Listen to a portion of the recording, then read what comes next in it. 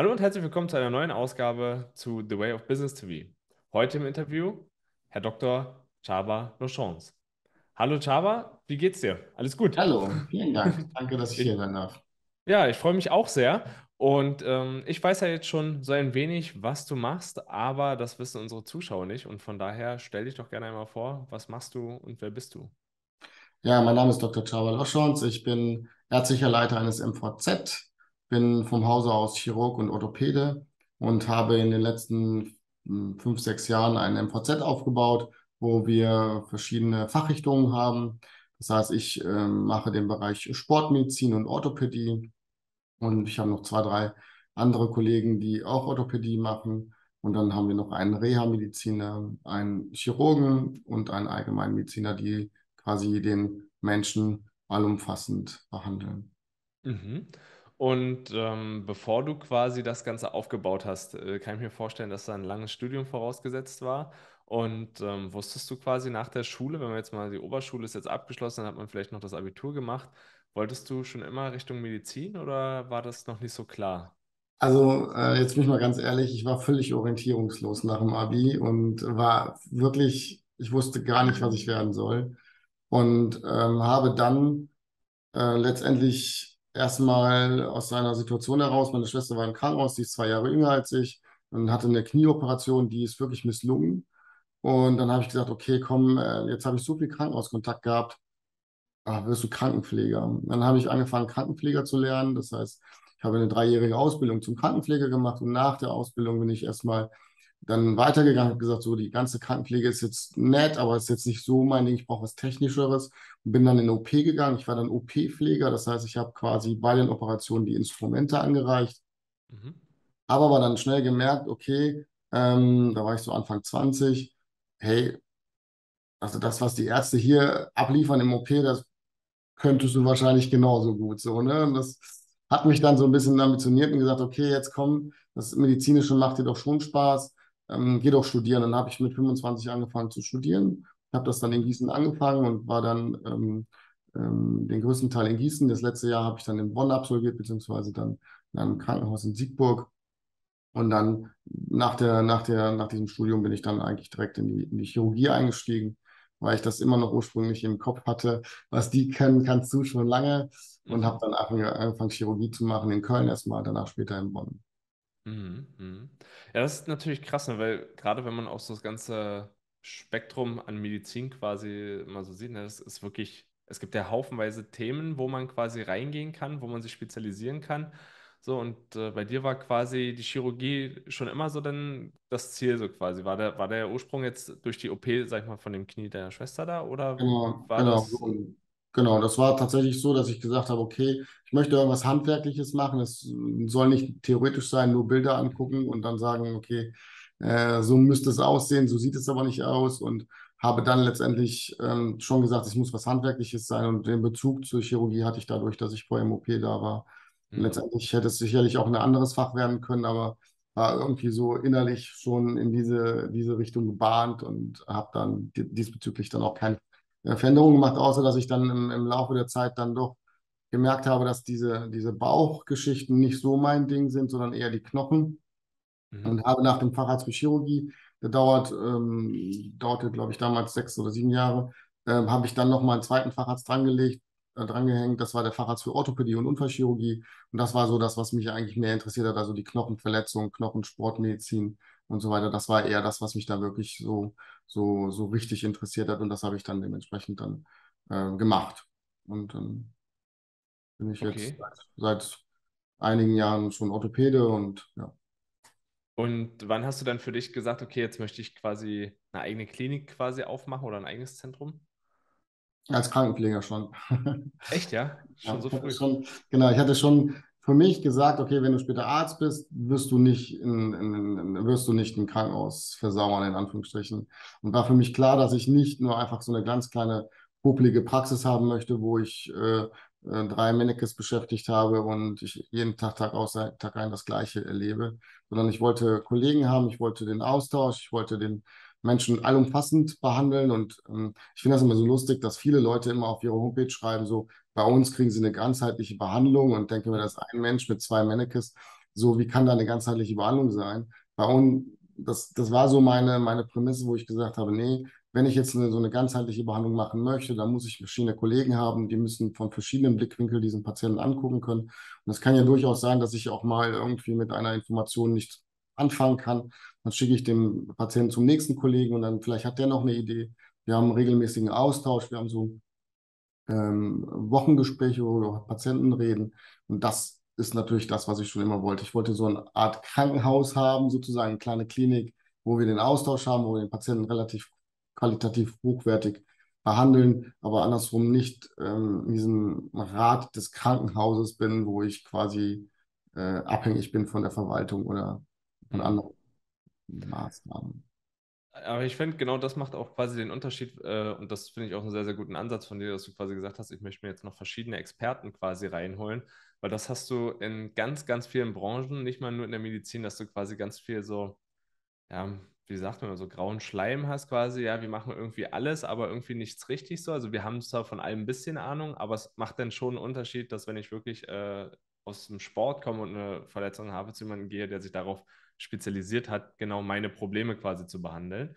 Und ähm, da können wir gleich mal zum nächsten Thema kommen. Wie sieht das eigentlich aus? Was sind so die häufigsten Probleme, mit denen die Leute zu euch kommen?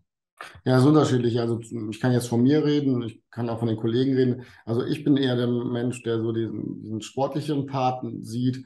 Und ähm, beim, also ich habe tatsächlich nicht nur ein MVZ aufgebaut, sondern wir haben ähm, bestimmte Geräte, so Messgeräte, ähm, die andere Praxen hier in der Nähe gar nicht haben. Das heißt, wenn du jetzt zum Beispiel zu mir kommst und sagst, ich habe jetzt beispielsweise Rückenschmerzen oder Schulterschmerzen, dann wollen wir denen natürlich helfen, diese Schulterschmerzen loszuwerden. Aber das kann ja eigentlich jeder. Das muss ich sagen, das ist jetzt keine, wir kochen ja auch nur mit Wasser und das kann ja eigentlich jeder, zumindest mehr oder weniger. Ähm, der Clou bei uns ist, muss ich sagen, ist, dass wir darüber hinaus sagen, naja, wie können wir verhindern, dass diese Schulterschmerzen jemals wiederkommen? Und da ist es richtig interessant, weil äh, dass ich jetzt mit einer Spritze oder was auch immer den Schmerz wegkriege, ist eigentlich banal. Aber dass ich dafür sorge, dass ich dich analysiere und checke, warum dieser Schmerz entstanden ist und wie wir den in Zukunft vermeiden, das ist eine, eine viel, viel wichtigere Aufgabe und das erkläre ich auch meinen Patienten so. Das heißt, ähm, ich sage immer, unsere Behandlung ähm, da gliedert sich in zwei Phasen. Die erste Phase ist quasi die akute Schmerzreduktion. Das kann wenige Tage, einige Wochen dauern. Die zweite Phase dauert wahrscheinlich unser Leben lang. Da kommen Sie hoffentlich zu mir oder kommst du hoffentlich zu mir und sagst, ist alles super mit der Schulter, ich muss vielleicht nochmal das Training und so umstellen. Das heißt, ich bin da ähm, etwas anders als andere Orthopäden und Sportmediziner. Ich stehe da wirklich ganz, ganz regelmäßig im Austausch mit den Physiotherapeuten in der Gegend. Ich habe von allen die WhatsApp-Nummer und wir, wir schreiben uns mit Einverständnis der Patienten immer, meistens sogar in Anwesenheit der Patienten, ähm, wie der Verlauf ist und sagen, hey, ich habe jetzt hier einen Patienten, Herr Müller, der, der, wird nicht besser mit der Schulter, kannst du bitte die Übung nochmal anders machen? Und ähm, so muss ich sagen, bin ich eher spezialisiert auf diesen, auf diesen präventiven und rehabilitativen Part der Sportmedizin. Also wenn, wenn jemand sagt, okay, wie kann ich es vermeiden, in Zukunft keine Probleme zu bekommen? Also in, insbesondere zum Beispiel Golfer, die ähm, seit Jahren Schulterschmerzen haben oder Fußschmerzen oder was auch immer, die wollen wir natürlich lösen, aber gleichzeitig wollen wir denen natürlich auch ermöglichen, dass sie schmerzfrei weiter golfen können, weil das ist deren Leben. Die haben vielleicht schon, sind schon in Rente und die spielen jeden zweiten Tag Golf oder jeden Tag Golf, können es aber nicht mehr genau, weil die Schulter nicht mehr mitmacht. Und da sorgen wir dafür, dass es halt richtig gecheckt wird und dementsprechend dann auch die, die entsprechenden physiotherapeutischen Maßnahmen eingeleitet werden. Mhm. mhm. Ich finde, das, das, das ist ein sehr, sehr guter Ansatz, weil gerade was du auch gesagt hast, dass eben nicht nur so, ich sag mal, die Symptome quasi behandelt werden, sondern auch eher auf die Ursachen geht. Und das ja. finde ich, das trifft man auch leider bei vielen Ärzten heutzutage nicht an. Also, also da gibt es wirklich auch den Unterschied. Ne? Es gibt tatsächlich auch äh, in der Medizin quasi wirklich gute Fachärzte und nicht so gute Leute, weil ich kann mich daran erinnern, als ich 14, 15 war, hatte ich durch meinen Judosport zum Beispiel äh, Probleme mit den Knien quasi. Ne? Das ist ja ein sehr knielastiger Sport auch dann. Und ähm, kann mich daran erinnern, dass es sehr, sehr frustrierend war, weil wir auch mit äh, Tabletten quasi versorgt wurden und äh, nicht gesagt wurde, gut, wie kann man jetzt dagegen vorgehen? Was ist, was ist jetzt die Ursache quasi? Was kann ich jetzt machen, damit ich keine Knieschmerzen mehr habe und trotzdem diesen Sport machen kann? Und ähm, deshalb sind wir dann auch später zu einem ich sag mal, Fachexperten gegangen, der sich auch um Judo-Sportler gekümmert hat und sowas. Und dann ging es auch schnell besser. War auch ein bisschen was anderes als nur Tabletten dann. Und ähm, ja, deshalb finde ich sehr, sehr gut, dass ihr da quasi auch wirklich ein bisschen tiefer in die Materie reingeht und euch auch die Ursachen anguckt. Und vor allem auch das Netzwerk. Ja, also ich äh, habe das tatsächlich noch nicht so erlebt, dass jemand auch mit dem ganzen Netzwerk quasi so eng, sogar per WhatsApp quasi connected ist, um da wirklich schnell eine Lösung oder schnell eine gute, richtige Behandlung zu finden. Also das ist schon top bei, bei sage ich mal, Sportlern, die etwas höher äh, angesiedelt sind, haben wir sogar eine WhatsApp-Gruppe mit dem Physio, mit dem Coach und mit dem Sportler selber. Und dann schreiben wir uns WhatsApps und der soll mir eigentlich eine Rückmeldung geben. So, heute hatte ich beim Training da ein Ziehen oder habe ich da und da ähm, ein Problem gehabt. Und dann diskutieren wir im Chat sozusagen, okay, wie der Trainingsplan sein sollte. Ähm, das ist tatsächlich so. Ich habe tatsächlich Sportler, die in anderen Mannschaften auch anderen Sport machen. Die haben alle ihre Mannschaftsärzte. Das Lustige ist, dass die dann immer noch mal zwischendurch zu mir kommen, sich noch mal kurz äh, fragen, ist das okay so, wie wir es jetzt machen? Dann sage ich, ja, mach das so oder mach das ein bisschen anders. Das ist immer ganz lustig, wenn die, wenn die Mannschaftsärzte so hintenrum noch mal übergangen werden und mich noch mal gefragt werde, sozusagen. Das ist ja interessant. Ähm, aber die gleiche Geschichte hatte ich auch mit meinem Knie. Das war genauso. Ich habe ähm, ähm, ähm, zu der Zeit Handball gespielt. Ich war so auch so 13, 14 und ich hatte richtig Beschwerden mit den Kniegelenken und bin dann zum Arzt gegangen. Und der hat tatsächlich gesagt, ich hätte äh, einen Bluterguss dort. Und letztendlich hat sich herausgestellt, ich konnte diesen Sport nicht mehr weiter ausüben. Ich habe dann aufgehört, weil dieser, dieser Hallenboden mir da zu viel Beschwerden an den Knien gemacht hat. Letztendlich jetzt als Orthopäde weiß ich, dass er eine komplette Fehldiagnose gemacht hatte. Ich hatte eine Wachstumsstörung dort, die hätte ganz anders behandelt werden können. Und wenn ich richtig behandelt worden wäre, wäre ich wahrscheinlich, hätte ich weitergespielt oder wie auch immer. Aber im Grunde muss man sagen, ist das genau das, was du sagst. Ähm, wenn man in fünf Minuten oder zwei Minuten Medizin, kann man nicht die Ursache bekämpfen. Man geht auf Symptome, sagen, hier nehme eine Pille und mache eine Sportpause. Und da bin ich, da muss ich sagen, bin ich immer am meisten allergisch, wenn die, wenn Sportler zu mir kommen und sagen, ich war ja schon beim, bei dem und dem Arzt und ähm, der hat mir gesagt, ich soll jetzt sechs Wochen Pause machen. Ich so, und also du hast ja jetzt was am kleinen C sozusagen. Du sollst eine Pause machen. Ich soll gar keinen Sport mehr machen, sage ich. Und der restliche Körper von deinem Körper sozusagen, da hast du ja noch Arme, Kopf, Beine, Bauch, Rücken, anderen mhm. Fuß. Da ginge jetzt kein Training. Ich sollte gar nichts machen. Das ist genau, da bin ich super allergisch, weil ich denke mir, naja, wenn er irgendwas am Knie oder am Sprunggelenk hat, hat er aber mindestens noch den restlichen Körper, der mit 85 Prozent sicherlich noch trainierbar ist. Und da empfehle ich halt meinen Sportlern oder mit meinen Physiotherapeuten zusammen ein, ein Ganzkörpertraining, empfehle da wirklich auch weiter im Training zu bleiben. Das Problem ist tatsächlich, dass, ähm, dass wenn man dann eine Pause macht, wir wissen das von so einem Gipsarm oder einem Gipsbein, äh, das, die Muskeln gehen so schnell zurück und ähm, das Blöde ist tatsächlich, ähm, wir haben zum Beispiel eine sehr, sehr spezielle Waage, da stellen wir unsere Sportler drauf und wir können messen, wie viel Muskelanteil und wie viel Fettanteil du hast. Das ist super mhm. cool, weil wenn du Sportler bist und du hast dann zum Beispiel, gehst dann zum Arzt und dann sagt, okay, äh, du spielst, was weiß ich, jetzt Landesliga oder was auch immer, ein bisschen höher, aber auch jetzt nicht so hoch. Äh, und dann sagt der Arzt, äh, nee, sorry, du musst jetzt vier Wochen aussetzen, du hast eine Verletzung. Und dann sagt er, okay, mache ich, mache ich, kein Problem, ich mache nichts. Der nimmt vielleicht nicht an Gewicht zu, weil er merkt, okay, ich stelle mich auf die Waage, ich habe nur 150 Gramm zugenommen oder vielleicht 300 Gramm zugenommen, aber in Wirklichkeit hat er vielleicht drei Kilo zugenommen, weil die Muskulatur sich abgebaut hat und in der Zeit hat er die gleiche Kalorienmenge zu sich genommen, die er sonst beim Training auch isst. Das heißt, das hat sich Fett angesammelt und er hat weniger Muskulatur und er sagt, nee, zugenommen habe ich nicht, alles gut. Dabei hat er deutlich weniger Muskeln. Und das ist das, was wir zum Beispiel rausfinden, weil wir sagen dann, hey, pass mal auf, ähm, du kommst bei uns direkt auf die Waage, wenn du verletzt bist. Wenn wir wissen, okay, du bist jetzt vier, sechs Wochen verletzt, dann kommst du auf die Waage. Dann gucken wir einfach mal, wie ist denn dein, ähm, äh, dein Verlauf. Du kriegst weniger Kalorien sozusagen, wenn du nicht trainieren kannst. Und ähm, wir lassen dich nicht sofort hundertprozentig wieder starten, weil das ist der Fehler, den meisten Hobbysportler machen, sage ich mal. Aber ich muss sechs Wochen warten. Okay, sechs Wochen sind heute rum. Gehe ich jetzt voll wieder auf die Bahn und gehe zum nächsten Kreisligaspiel und frage mich, warum ich wieder verletzt bin. Und das ist, das ist genau das Thema, dass man sagt, okay, ähm, wenn man eine vernünftige Untersuchung der Ursache macht, wenn man eine vernünftige, wir nennen das Return to Sport, ähm, Phase macht, dann geht es halt manchmal doch nicht so schnell. Und der Sportler kann sich auch auf Amateurniveau so perfekt vorbereiten, dass er eigentlich, wenn die, wenn die, die ähm, Verletzungsphase ausgestanden ist, relativ verletzungsfrei wieder spielen kann, weil das größte Risiko, eine Verletzung zu bekommen, ist eine stattgehabte Verletzung. Das heißt, im Grunde versuchen wir natürlich, die Sportler dann in eine Richtung zu geben, wie so ein bisschen Profisport, also wie in der Bundesliga sozusagen. Und das ist so, dass ich sage mal, ich bin der Müller Wohlfahrt für, für Arme. Ja, aber also finde ich auch tatsächlich lustig. Mir wurde damals nämlich auch gesagt, ich soll äh, einfach eine Sportpause machen. Und ähm, was wurde gesagt? Ähm, ich glaube, wenn ich das im Leistungsniveau weitermache, dann werde ich mit 20 wahrscheinlich im Rollstuhl sitzen. Und äh, am Ende des Tages war es auch tatsächlich wegen dem Wachstum, weil ich äh, mit äh, in der, genau in dem Alter quasi extrem gewachsen bin dann. Und ähm, am, der Profi hat dann quasi nur gesagt, dass ich das Training ein bisschen umstellen muss. Er hat auch gesagt, auf keinen Fall einfach raus aus dem Sport, weil Richtig. ist halt nicht gut. Ne? Was, man war halt auch im Wettkampfteam und alles. Und ähm, dann war halt einfach ein anderes Training rund um die Kniemuskulatur, alles was da drum ist, äh, quasi mit Bändern noch ein bisschen unterstützt und einfach anders trainiert an der Stelle, um dann quasi mehr Stabilität da wieder reinzukriegen und Co. Und äh, das hat dann auch geholfen tatsächlich. Aber ja, sehr, sehr interessant quasi, wie sich das dann so, so, so abgleicht und äh, sehr, sehr erstaunlich, wie, wie gut und wie sehr ihr da hinterher seid, quasi auch bei den Profisportlern Ja, mit WhatsApp-Gruppe und Co. Das ist ja schon ein sehr, sehr großer, guter Service quasi. ja.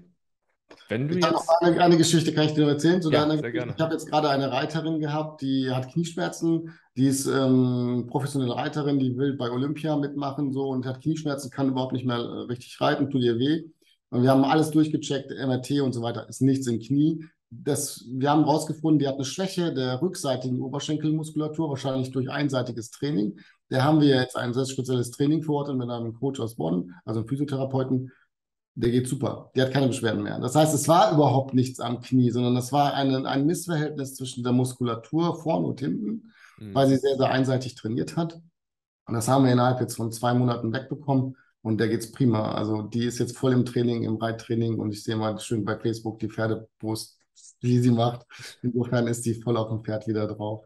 Klappt sehr, sehr gut. Aber es ist genau die gleiche Geschichte. Ja, Hammer. Also genau das wäre jetzt quasi auch so die nächste Frage. Also bei den ganzen Patienten, die ihr quasi habt, so gibt es da so ein paar Highlights, die du quasi hast, wo du sagst, boah, da haben wir wirklich von, von A nach B quasi ein richtig krasses Ergebnis erzeugen können oder quasi eine Verbesserung wieder? Ja, genau, aber wie, also was wir zum Beispiel haben, was, was ich auch, also das ist jetzt nicht rein sportmedizinisch, sondern mehr in diesem traumatischen Bereich. Wir Mhm. haben zum Beispiel eine Sportlerin gehabt, die hat, ähm, äh, die war Ende 20, ich glaube Volleyballerin oder sowas, und die hat ähm, in Österreich gespielt, irgendwas im Urlaub. Ähm, und wir haben ein sehr, sehr spezielles 3D-Röntgengerät. Das heißt, das ist, ähm, also in unserer Gegend haben es nicht mal die Krankenhäuser. Das heißt, wir haben so ein sehr, sehr spezielles 3D-Röntgengerät, wo du mit wenig Strahlung den Knochen in 3D darstellen kannst. Und die Sportlerin hatte Volleyball gespielt und ähm, ist dann irgendwie doof aufgekommen und hat sich den, den, äh, den, das Sprunggelenk verstaucht. Und dann ist sie ins Krankenhaus und hat ein Röntgenbild gemacht, hier als sie wieder in Deutschland war. Und, und das Krankenhaus hat gesagt, nee, ist nichts gebrochen. Die war 28, lief die ganze Zeit rum, wollte weiterspielen, ging auch nicht. Und dann kam nach drei Wochen zu mir. Und ähm, die Frage war, was mache ich mit der? Das wird ja nicht besser. Und dann haben wir sie ins 3D-Röntgen gesteckt und die hatte einen Bruch des, der hinteren Schienbeinkante, weil die so bescheuert aufgekommen ist. Ähm, und die ist drei Wochen mit diesem, mit diesem gebrochenen Sprunggelenk rumgelatscht und keiner hat ihr so richtig geholfen. Und ich denke mir, hätte man dieses 3D-Röntgen von Anfang an gemacht, ähm, dann hätte sie nicht drei Wochen lang mit einem kaputten, gebrochenen Sprunggelenk als Sportlerin rumlaufen müssen.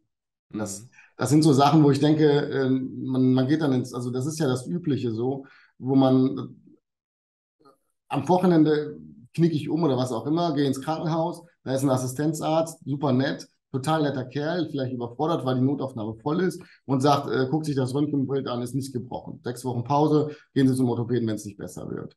Das ist so die üblichen. Da kommen die Leute nach drei Wochen zu mir und sagen, es wird nicht besser. Ich war im Krankenhaus vor drei Wochen umgeknickt, es wird nicht besser. Ähm, was kann das sein? Und dann gucken wir nochmal nach und dann sehen wir einfach, dass andere Dinge noch vorliegen, die überhaupt noch nicht festgestellt wurden. Und das sind dann so, so diese alltäglichen Dinge, die uns, die uns so ähm, ja, äh, treffen. Also es ist nicht jetzt so, so ein Speziell-Case, sondern es ist wirklich tagtäglich er erleben wir das. Krankenhaus umgeknickt, kommen keine richtige Versorgung. Schiene haben sie meistens gekriegt, aber so eine ganz günstige. Mhm. So, das ist so das Alltägliche. Ja, das, das finde ich tatsächlich auch immer ein bisschen, das ist ja quasi gerade für Leute, die äh, auch so im Profisport unterwegs sind, ist das ja auch quasi eigentlich gefährlich, oder? So eine, so eine Fehldiagnose, weil ich Ja. meine, jetzt kennt man ja viele, die dann sagen, ach gut, der hat gesagt, es wird schon wieder, oder, oder irgendwie macht man sich ja dann doch Hoffnung, dass es von alleine besser wird und dann wartet man und wartet, wartet, wartet und im Endeffekt kann man sich ja damit auch eigentlich vieles verbauen, ne? Wenn es eigentlich falsch behandelt wird oder eben nicht behandelt wird über eine längere Zeit. Das ist ja auch gar nicht mal so ungefährlich, oder? So ist es. Also ich, also meiner Meinung nach muss ich sagen, das ist jetzt meine persönliche Meinung, es vergeht immer viel zu viel Zeit, bis der Sportler, egal welches Niveau ha- hat, ähm, beim Arzt die richtige Diagnose bekommt. Das heißt, dass ich finde, die, der Zeitpunkt zwischen ähm, Verletzung oder Erkrankung bis zur Diagnosestellung ist in Deutschland auch im Hobbybereich, also gerade im Hobbybereich viel zu lang. Und erst dann kann man eine, eine wichtige Therapie einleiten, wenn ich weiß, was du hast. Und dann ist es so, dass wir noch dazu das System in Deutschland haben, wo nicht alle Leistungen übernommen werden. Das heißt, es ist so, ich, ich habe einen Sportler, der ist irgendwie, keine Ahnung, der ist vielleicht Student oder Auszubildender, was auch immer. Äh, das dauert vier, vier, sechs Wochen, bis ich rausgefunden habe, was es dauert, weil es einfach zu lang dauert. Und dann komme ich, kommt er zu mir und sage, okay, für dich wäre jetzt die und die Therapie die beste. Die kostet aber leider 400, 500 Euro, weil ich, weil das kein Bestandteil der Krankenkassen ist. Dann sagt er, ich kann sie leider nicht machen, äh, weil ich die Kohle dafür nicht habe. Und dann stehe ich so als Arzt dazwischen und sage, ey, es hat eh schon so lange gedauert, bis du gesund, äh, bis wir herausgefunden haben, was du hast. Jetzt dauert es noch länger, wenn du die Therapie nicht machen kannst, die ich dir vorschlage. Und dann sagen die einem, dann gehen sie ähm, und sagen, ja, wie du, ja, dann musste ich Judo aufhören als Beispiel oder ich musste den Sport aufhören, weil ich nicht mehr konnte, weil mein Knie kaputt war als Beispiel. Aber im Mhm. Grunde ist das Knie nicht kaputt, sondern das war ein, ein, eine Verkettung von blöden Umständen. Zu lange gebraucht, bis ich die Diagnose hatte und dann die richtige Therapie nicht angenommen, weil man sich das vielleicht nicht unbedingt als junger Mensch leisten kann. Und das ist, da muss ich auch unser Gesundheitssystem so ein bisschen kritisieren. So, ähm, wenn du eine Verletzung am Knie hast, äh, die operiert werden muss, dann bist du der Erste im Krankenhaus, dann kriegst du auch sofort einen OP-Termin. Das dauert nicht lange. Aber wenn es irgendwas Konservatives ist, was wir mit ohne Operation hinbekommen könnten, mit diesen Methoden, die wir haben, das bezahlen die Krankenkassen nicht. Und dann denke ich mir, da läuft tatsächlich irgendwas auch ein bisschen falsch, weil wir unsere, also der Schwerpunkt in der Medizin in Deutschland liegt ganz klar auf diesen interventionellen, also Operationen und so weiter, statt auf diese Rehabilitation. Wie kriege ich den Sportler ohne Operation fit? Und das, das würde ich, nervt mich so ein bisschen in, im sportlichen Alltag. Ja, das, das finde ich tatsächlich auch im, im Berufsalltag, ja, gerade die viele Bürojobs, also zum Beispiel, ich sitze ja auch viel auf so einem normalen Stuhl quasi und äh, jetzt muss man davon ausgehen, die, die meisten Büros haben ja auch nicht mal vernünftige Stühle irgendwie quasi bei sich drin, ja, also äh, ist ja auch immer eine Kostensache, ne? so ein Herman Miller-Stuhl, der dann da quasi mal richtig gut für, für den Rücken ist, die sind ja auch sehr intensiv, aber da gibt es, finde ich, auch noch viel zu wenig große Unternehmen, wo viele Leute im Büro sitzen, die zum Beispiel auch so, so sag mal, präventiv Massagen anbieten dort vor Ort. Es gibt ja so viele mobile Masseure schon mittlerweile und so, die da wenigstens ein bisschen was für den Rücken tun. Und ähm, ja, also da kann Deutschland sowieso noch ein bisschen, bisschen nachziehen in einigen Punkten und auch viele Firmen. Wenn wir jetzt aber mal euer Unternehmen angucken, wo soll es da noch hingehen? Hast du da spezielle Ziele, so fünf, zehn Jahresziele, wo du noch hin möchtest? Ähm, ja, ich möchte natürlich bestimmte ähm, ähm, Felder noch ausbauen. Man muss dazu sagen, dass meine, meine Planung jetzt ein bisschen anders war in den letzten zwei Jahren, ist so ein bisschen ins Stocken geraten, weil ich weiß nicht, ob du das weißt. Wir, wir waren in, also die Praxis war in Bad Neuenahr. Wir hatten in Bad Neuenahr vier Standorte, also zwei in einer, äh, zwei in einem Haus und ähm, ein Standort weiter weg, also ein paar hundert Meter weg und ein Standort in einem Nachbarort. Und in Bad Neuenahr gab es vor, ähm, also am 15. Juli 2021 diese große Flut. Und das ist quasi ja diese, diese, diese ähm, Jahrtausendflut sozusagen gewesen. Und meine Praxen sind äh, weggeschwommen sozusagen. Es war wirklich nichts mehr da. Das war über eine Million Euro Schaden sozusagen. Ist alles weg. Also du hast unsere Liegen irgendwie 200 Meter weiter irgendwo gefunden. Das waren ja auch die Autos in den Bäumen. Das war Mhm. wirklich sehr, sehr krass. Und wir sind momentan noch nicht in diesem Gebäude, wo wir vorher waren. Das Gebäude, wo wir vorher waren, war so, ein, so, ein, so eine Art Schloss. Und das, äh, Mhm. du, du hast es gesehen und dachtest, okay, gleich kommt Sissi mit ihrer Kutsche hier ange, angetrabt und das ist super, super, super romantisch und so. Sah auch innen drin auch total cool aus, total modern. Und ähm, da wollten wir so ein bisschen OP-Zentrum ausbauen und so weiter. Und das ist erstmal zwei Jahre nach hinten gerutscht, weil dieses ganze Gebäude jetzt einmal ähm, ähm, ja quasi also de facto abgerissen werden muss. Es wird jeder Stein einzeln abgenommen und wieder draufgepackt sozusagen. Das wird in so Etappen gemacht und das dauert noch circa zwei Jahre, bis wir da ankommen. Insofern ähm, räumlich gesehen würde ich die nächsten zwei Jahre erstmal dahin, wo ich vorher war, weil es ein sehr, sehr schönes ähm, Ambiente war und ähm, inhaltlich gesehen würde ich gerne bestimmte Bereiche ausbauen. Ich hätte gerne ähm, nochmal einen sehr, sehr speziellen Bereich für Golfmedizin, da ich bin Golf, ähm, Golf Medical Coach. Diesen sportmedizinischen Bereich würde ich gerne so ein bisschen ausbauen noch.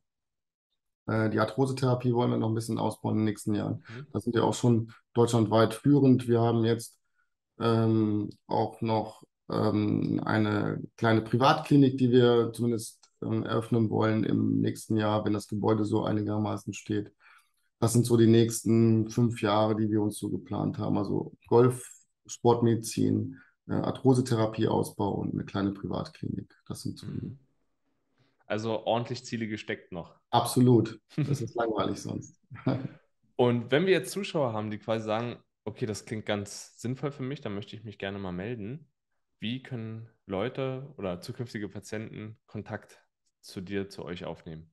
Also ähm, einfachsten ist, glaube ich, über die Homepage ähm, www.medicum mit C geschrieben, RAE, also Rudolf Anton Emil.de. Heißt nicht Rechtsanwälte, was mich viele fragen, sondern reine Eifel. Ich glaube, das, das ist das Gebiet.